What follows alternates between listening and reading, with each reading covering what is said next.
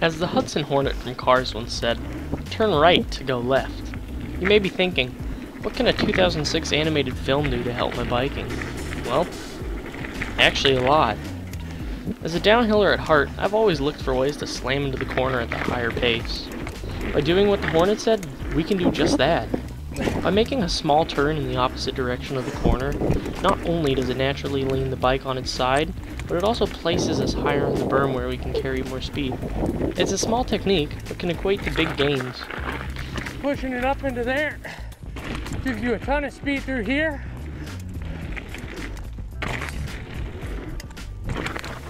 When learning to countersteer, we don't want to begin the corner by turning left into the berm. What we want to do is allow the bike to naturally lean over with a small turn to the left. When we turn left, the weight will shift and will cause the bike to roll over. When it rolls over like so, we can enter the berm and match the angle of said berm. Start small. The movement isn't big and is only meant to initiate the turn. In doing this, you'll start to realize the higher speeds you can carry into the corner based on the higher path. Here we have two riders coming into the berm. The one who doesn't countersteer has to slow more and has a smaller radius to turn.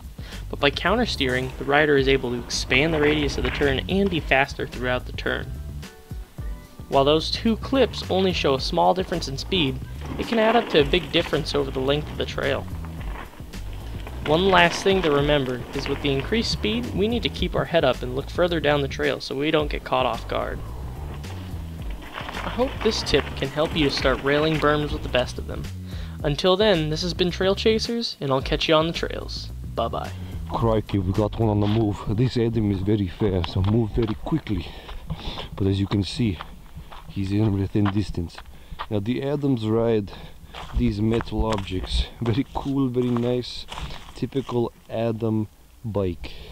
Now the Adam likes to survive off the bark of the tree.